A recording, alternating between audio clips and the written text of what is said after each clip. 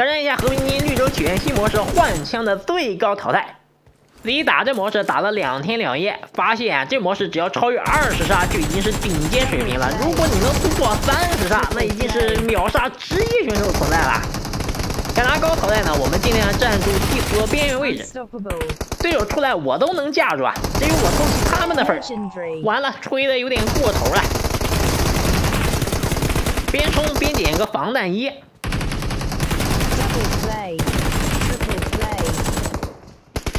一个人跑到对面家里嚣张，还反杀了个 火箭少女呀！又回到老位置了，这里已经被别人占住了。他们在打我远处队友，前面就是对方的重生点了。我们先卡一下视角，没人留意到我，就直接往前冲。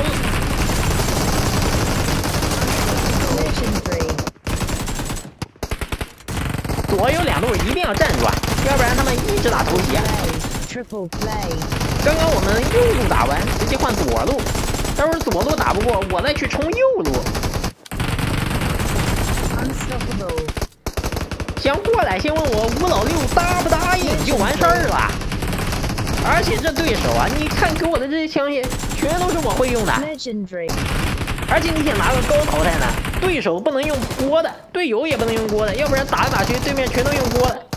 用锅其实拿淘汰也是挺困难的，这里面一锅秒不了人，得敲好几锅呢。反杀一个还不错吧，人太多了。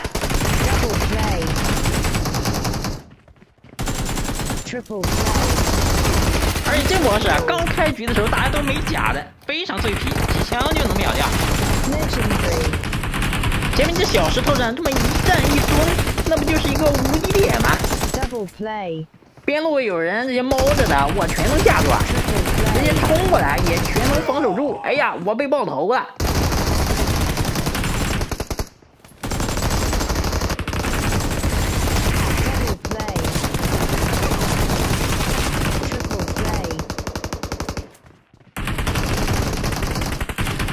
已经是三十三个淘汰了，还能再往上提一提。没人防守，好，直接绕过来，打一个，打两个，绕到石头后边去。对面怎么都原地不动，放弃了。右边没人，左边，最后是拿下三十七个淘汰。